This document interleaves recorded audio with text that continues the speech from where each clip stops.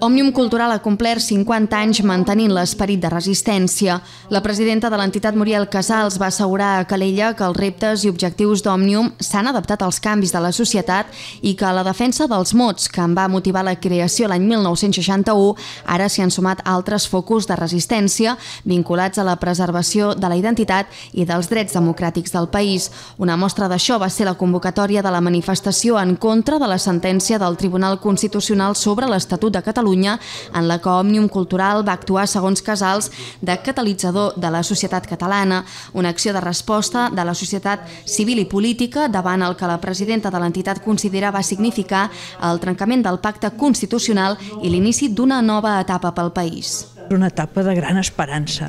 Jo crec que el que compartim amb els ciutadans és això, l'esperança, l'esperança d'un país millor, d'un país que l'anem fent i que, i que està a punt de fer un salt molt important.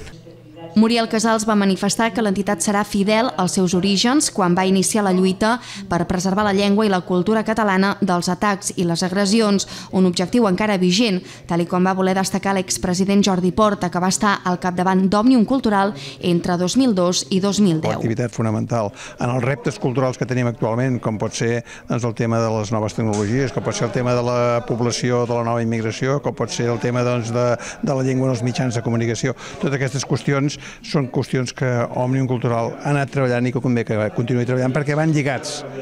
van lligats, si això funciona, funcionarà també el país. D'aquí neix, per exemple, el programa Cadem, amb el qual proposa crear espais de trobada per donar a conèixer i descobrir Catalunya, la seva llengua, les costums i tradicions i la seva gent. La de Mataró és una de les 27 seus en les que es pot participar d'aquest programa i és que l'expansió que ha experimentat Òmnium Cultural aquests darrers anys i el fet que torni a tenir més de 24.000 socis, com en els seus millors temps, confirmen que és una entitat plenament arrelada a Catalunya.